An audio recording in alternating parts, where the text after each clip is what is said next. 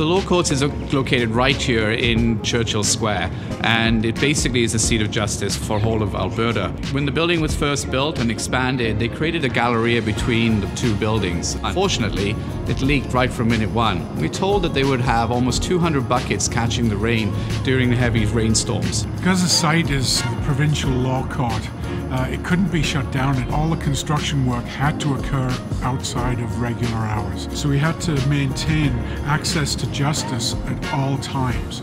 Um, that meant that uh, we had to design a concept where we built over the top of the existing Galleria, and then at a point when the envelope was sealed, we were able to dismantle the old Galleria from the inside. We didn't have a lot of laydown area on this project. Every major component had to come to site and fit in place, so we utilized just-in-time delivery. With accurate data, everybody could feel confident, and when things arrived, they fit. One of the greatest challenges was how to span over this large area of the existing Galleria. We improved one column at one end and a massive truss that spanned over the existing Galleria to the point that we could then add the sort of layered cake you see in front of you of all these different tiers of the building as it steps down to the ground.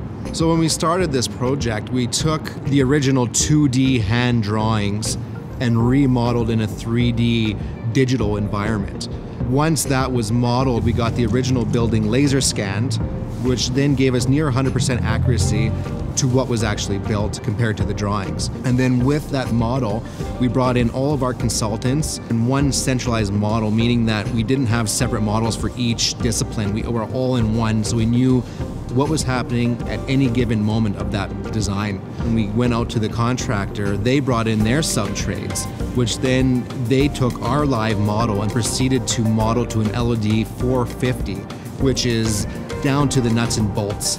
And they were able to produce their shop drawings from our live model. What most people don't know is that we took that perforated panel and matched the profile of the existing building and brought it all the way around to tie into another profile on the opposite building. The interior of the Galleria was designed to bring in natural light. We designed it with the intent of creating a pausing space or a, a place of calmness in what could otherwise be a very stressful time in people's lives. Natural materials and finishes were selected to support this calming environment. You always hope for a great outcome when you go to court, and I, I think it just kind of symbolizes possibility. So for me, at the end of the day, this client has a high-performing building. A beautiful brightened interior space.